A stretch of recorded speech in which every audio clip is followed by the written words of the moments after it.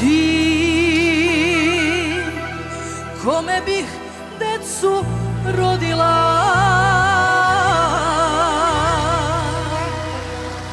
Zbog koga sam rat sa svima voljela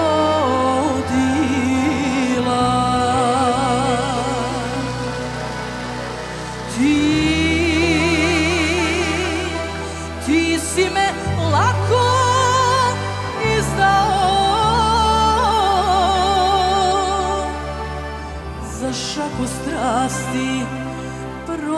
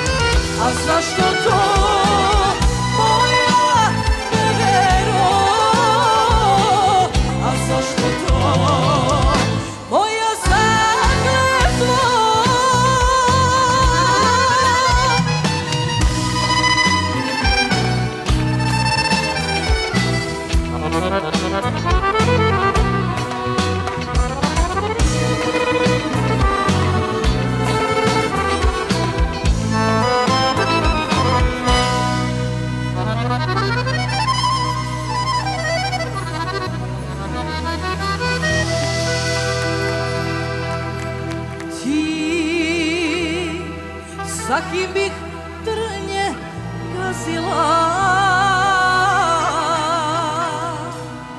Boga sam ja? Ko dete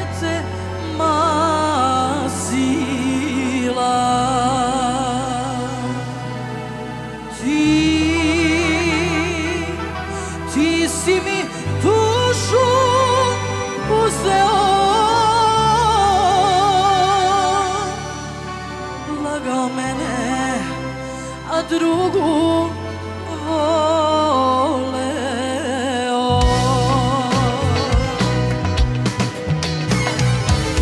A zašto to